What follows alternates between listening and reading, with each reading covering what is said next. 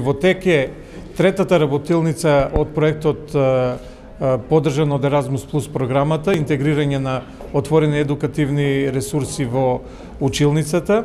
На, на оваа работилница учествуваат партнерите во проектот од Шведска, од Бугарија, од Македонија се од Кавадарци и од Скопје и нормално Универзитетот Гоце делче во Штип. Партнери ни се Техничкиот универзитет во Софија, гимназијата Курт Николин од Финспанк Шведска, втората јазична гимназија од Софија. И од Македонија. Добри Даскалов од Кавадарци, гимназијата Добри Даскалов од Кавадарци и стручното средното стручно училиште Здравко Цветковски од Скопје. Целта на ова работилница е вовет во отворени едукативни ресурси, користење, дизајнирање и нивна употреба во секојдневната настава. Какви резултати до сега има покажано? Значи ова е сме на почетокот на проектот, првата година помина, до сега имавме анализи и препораки што да работиме натаму, подготвени се такви извештаи и очекуваме значи во тек на втората година да секој од партнерите изготви одреден број на отворени едукативни ресурси кои би можеле да се споделат меѓу сите партнери и да се користат понатаму во наставата. Какви се тие едукативни ресурси? Едукативни ресурси, тоа се значи ресурси кои може секој да ги вообичаено дигитални, да ги симне, да ги даунлодира и да ги користи во својата настава.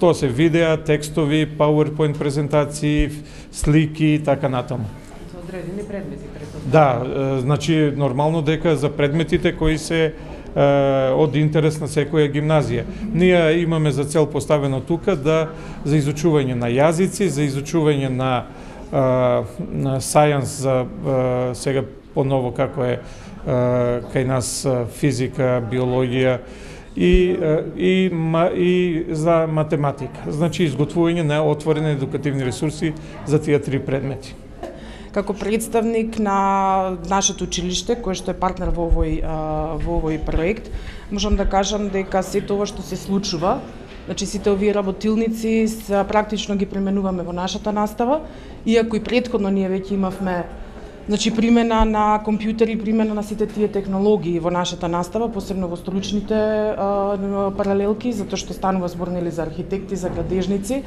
И на тој начин ја градиме иднината на Македонија, затоа што бидејќи не ги користиме тие веќе стари технологии или стари практики, туку веќе со вие се осовременува на некој начин образованието на полесен начин еве ќе учат, ќе имаат практична настава учениците од вашето училиште? А, ќе имаат полесна настава, да, заради тоа што нема да користат на некој нема да користат пенкало и тетрадка, туку сето тоа што го работат ќе го запомнуваат на на компјутер и после тоа може да се користи во било кое време.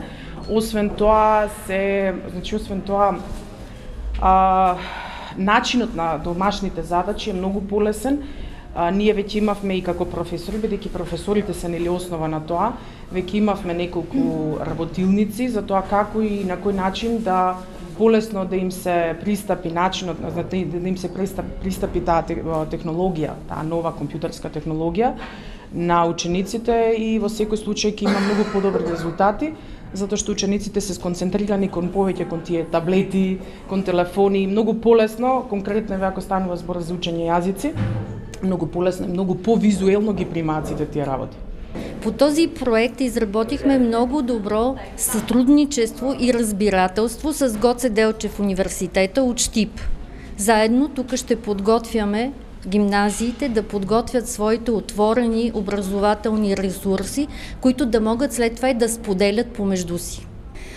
И сме партньори заедно с училищата от Кавадарци и Скопие, Всъщност ние ще бъдем тези, които ще изпробваме ресурсите, които а, нашите колеги от университета в Штип и в а, Технически университет в София ще предложат и ние ще бъдем тези, които ще покажем как на практика тези ресурси могат да бъдат използвани в класната стая.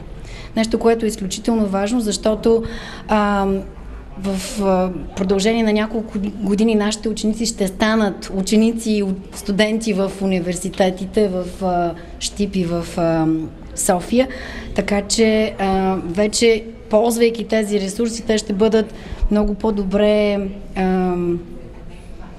да кажа на български, подготвени, а, за да могат да използват най-новите а, технологии в а, своята работа в университета.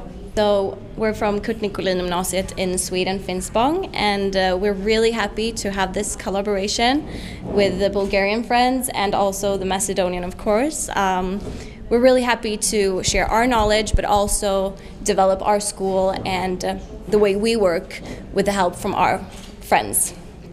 And um, we love Macedonia. We've been here before, and uh, Bulgaria was also beautiful. So not only the knowledge about IT and communication, but also the knowledge of uh, different cultures and how to meet new people. Um, in our school, we definitely use a lot of e-learning. So we feel that anything else we can learn is really good. So we're really happy to be able to connect through this project. Thank you. Поаѓам од средното училиште Гимназија Добри Даскалов од Кавадарци и мислам дека овој проект е одлична можност пред се за нас професорите како тоа да ги повеќе ги заинтересираме учениците овие модерни да ги користат овие модерни технологии во училиштето пред се нивните мобилни телефони и компјутерите кои што секој ден ги имат пред себе за да има голема заинтересираност во користењето во наставата и пред се да имат поголеми бенефиции од истите. Исто така во соработката со партнерите од сите овие училишта дознавме и научивме многу голем број на техники и пред се едукативни отворени едукативни ресурси кои што може да ги користиме понатаму во образованието кај нас.